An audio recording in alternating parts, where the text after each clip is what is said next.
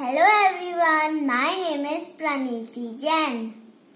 I study in UKG Dolphin. I am telling about plant.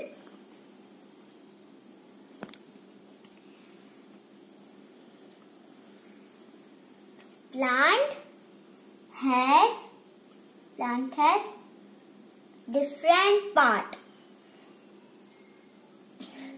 This is this is flower. This is leaf. This is bud. This is stem. This is root. These are on the ground. The root is under the ground. Plant give?